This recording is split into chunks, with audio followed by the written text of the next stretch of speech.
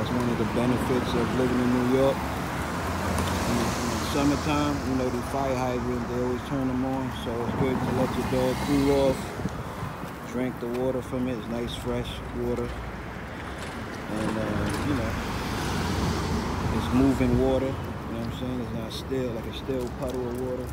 So it's fine for them to drink from it. But that's the good thing about New York that I love for your dogs.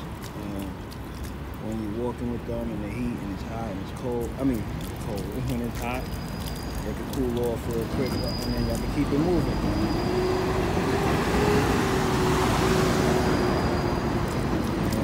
Sometimes she lay right in it because you know they belly be really hot dogs. That's why sometimes they'll lay on like uh, like tiles or whatever in your house because the tiles are a little cooler, so it's good for their belly. But you see she walking right with a you know with the water running. So it's cooling her off, cooling her feet off and all that. She's smart though, she know how to cool herself off. That's for sure. And it's really hot today here in New York. It's like really dry. It was humid yesterday. It was very humid yesterday. And the day before was so humid, man. Couldn't tolerate it. And um, my central AC, I'm waiting for the repair guy, and it happens to break on two of the most humid days that we had so far, which was yesterday and the day before. Ain't that a mug, right? Hate that. It's like it chose to break down on the worst day. but yeah, um, they say he coming, the repair guy coming tomorrow to fix that. So you know. So I had a fan on her last night, a small fan, and you know, thank God I ain't put my fans up and throw them out. Like, you know, I've been trying to get rid of stuff, so I was like, yo, we don't need them fans, man. Let's, you know, put them in the storage or give them away or something. And my wife was like, nah, because you never know, we might need them. That's how she think. And you know what? She was right.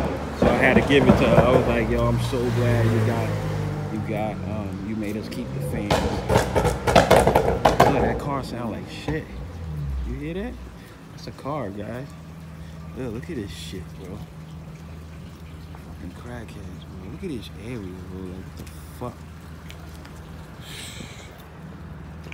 Be scared to walk through here with my dog, man. Especially at night. Be mad rats, raccoons through here. Look this fuck. Shit look like a third world, uh, world country right here, right? Shit, I don't even, nah, some areas in third world countries be looking better than this shit. Boy. Yeah, just that one area that looked like that. It's crazy. you feel better, Phoenix? Oh, I hate cars that sound like that, bro. Yeah, so right now I'm just walking to my boy Pedro house so we could let um, her play with Bear, the American Bulldog. Cause um, she in heat, as y'all can see. And uh, she didn't take last time because I guess he was too young or something. I don't know. I don't know. But we're gonna, you know, see if they could breed now that he's of age. Oh, y'all don't need to see all that. But yeah, so we're gonna see if they could breed now. So see what happens. So I'll get back to y'all in a little bit.